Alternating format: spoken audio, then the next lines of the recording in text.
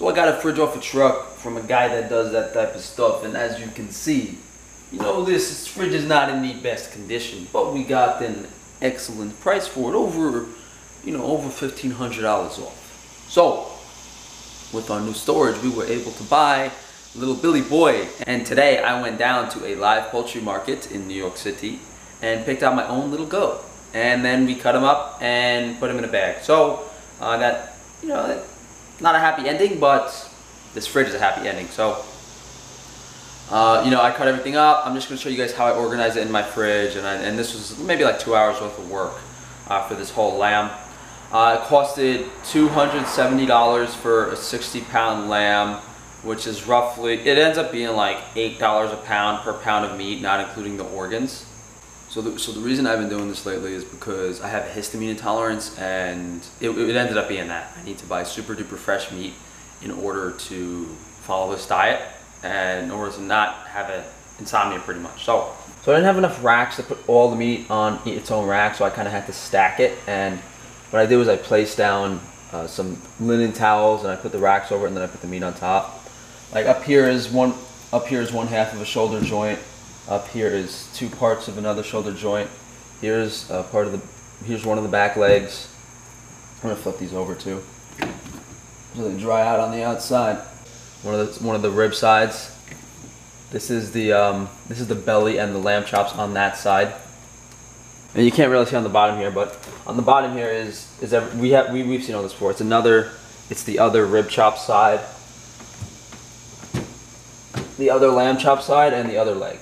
So we have every part of the lamb in here besides one of the shoulders, which I ate already, and uh, the vertebral column, which I have in a stew upstairs, which I can go show you after. And here's the head. Uh, we're probably gonna boil this down in a pot. Really doing nose to tail, guys. I used to just eat the uh, eat the brains out of the head. Ah, smell of blood in the morning. Here is a uh, big shout out to Derek Nance for commenting on my channel and giving me some tips. The jar is a, jars are a great idea. Uh, here's the liver, roughly about, we had about a pound and a half of liver. This is the brain. Uh, in this jar I actually put, I think I put the heart, wait, what is this? This is the heart, the kidneys, and the spleen. These are the lungs testicles. And then in the back here, we got a jar of strained blood that doesn't have the fibrin in it. And then this is the, the jar of the fibrin in the blood that separated. And then we have the stomach, the sheep's stomach uh, the intestines I got rid of because I have no use for them. This stomach, I might think of cooking it, but it's I think it's going to smell too bad to cook it, to be honest. Uh, so that's everything I have. You know, roughly I'm assuming 20, 30, 25, 30 pounds of meat, maybe a couple pounds of organs in total.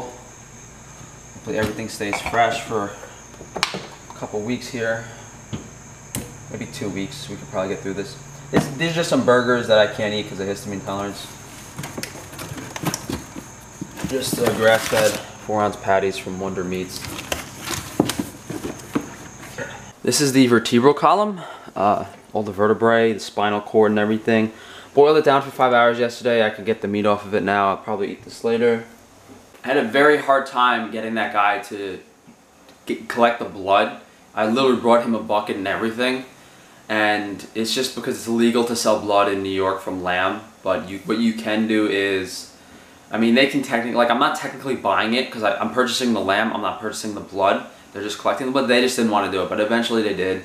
You know, this this was a very lean animal, and one interesting thing is, various indigenous groups did only consume lean animals, and then they got their energy in other ways. So, and and they cook the meat. So I, I don't think that having super fatty meat and super fatty beef is necessary, especially in the context of eating the organs of the animal, where we can get, you know, we can get some fat from the brain, we can get, I mean, I guess there isn't too much fatty tissue on this animal in general, but there's certainly enough vitamins and calories just to sustain someone for a very long period of time. Uh, possibly also part of the reason that we see a lot of indigenous groups have leaner physiques, whereas a lot of zero carb people tend not to be too lean. You know, the body's meant to subsist on a much lower caloric amount than people think it is, uh, for the most part. Just have to adjust to it. There's a video of me tasting most of those organs at once and a haunch of meat, where we're like celebrating the kill. I did a video on the blood, the eyeballs. Uh, we're gonna do a video on maybe probably a couple other things related to this lamb. It's all I'm gonna be eating for the next two or three weeks.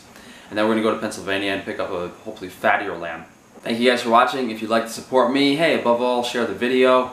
Uh, if you guys would like to uh, support my social media, check out my social media. Hey, Joe Rogan followed me the other day on Twitter, so maybe you guys should follow me too.